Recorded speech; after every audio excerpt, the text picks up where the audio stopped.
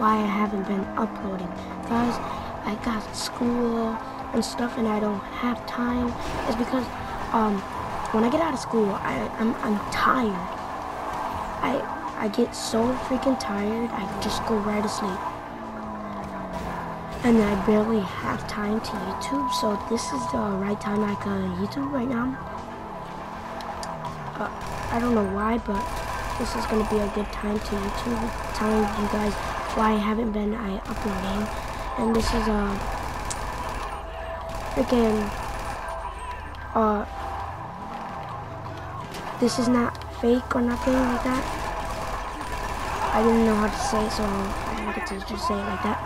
But yeah, I'm not telling you guys a lie. I will never lie to you guys. And yeah, because again, I have school and I don't have time.